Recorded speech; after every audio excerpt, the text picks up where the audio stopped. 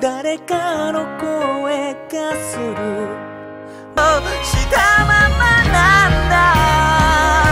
やっぱ僕は観光大使だったんですけどそれらしいことが全然できてなかったんで何か大町市で何かできたらいいなと思ってたんですけどもイベントとかもやっぱなかなか忙しくて行けなかったんですけどやっぱパラパラ漫画でやっぱお仕事の依頼が来た時にすごい嬉しくてこれはやっと大町観光大使として役に立つ日が来たんだなと思ってもうスケジュールをバンと3ヶ月取って、えーパラパラ漫画描きました。今までで一番長い10分超えをしました。そしはい、て枚数にしたら、枚数2000 2000まあ何百枚ですね。は忘れ忘れちゃいました。あのやっぱ大町市って山が素晴らしいですよ。はいやっぱいろんな場所もありますけどもやっぱ大町市でやっぱ一番自慢できるのは山だと思ってて日本一一番風景のいいやあの場所だと思いますはい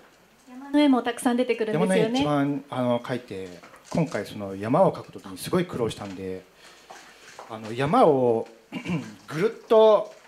山の頂上に立ってぐるっと見るシーンがありましてそれを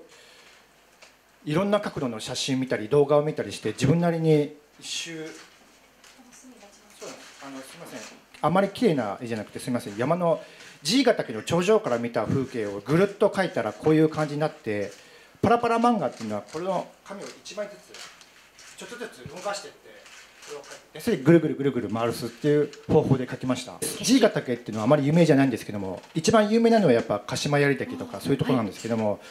えー、と G ヶ岳は登りやすいんであのぜひもし大町市に来たと来た方はやっぱ G ヶ岳から登ってもらいたいんで一番最初にアピールしたいなと思ってて G ヶ岳を書きました、はい、あのーやっぱ友達が僕の元マネージャーの人が結婚した時の話を聞いて、はい、そういう離れた時はやっぱ辛いんだなとか思い出したんだなっていうのを聞いて、はい、書くことだけみたいな。そうですね。ずっと書いてますね。ずっと書いてるんですけども結構仕事も決まっててもう秋ぐらいまで決まってます。振り子でブレイクして大儲けしたっていうことでいいわけですね。えっと、いや意外と僕毎日仕事してますけど、その仕事量に対してはそこまで分かってないです。と思います。それ吉本だからとか言っちゃいます。けど多分そうだと思います。これはなしダメですよ。その今日来てるんで、はい、だけどもう僕は本当に十分です。はい